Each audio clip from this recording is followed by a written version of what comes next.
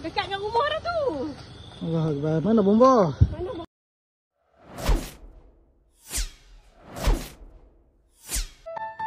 Seorang wanita terpaksa menanggung puluhan ribu ringgit apabila kereta kesayangan terbakar di Taman Maluri dekat Citra Kedah pada Jumaat lalu.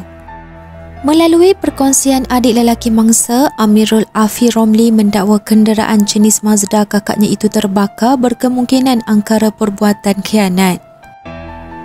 Pada pukul 2 pagi Jumaat, keluarga saya dikejutkan dengan panggilan daripada jiran yang memberitahu kereta kami terbakar.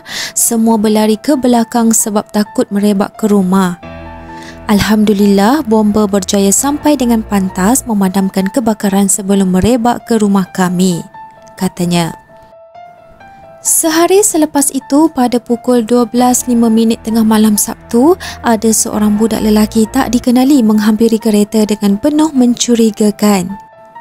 Dia kemudian lari tak cukup tanah sebab kena sergah oleh adiknya sebab nampak dia macam nak buat sesuatu.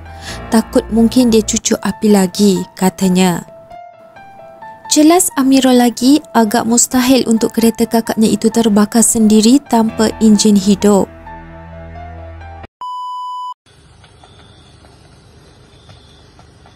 Dekat dengan rumah dah tu. Allah Akbar. Mana bomba? Mana bomba ni?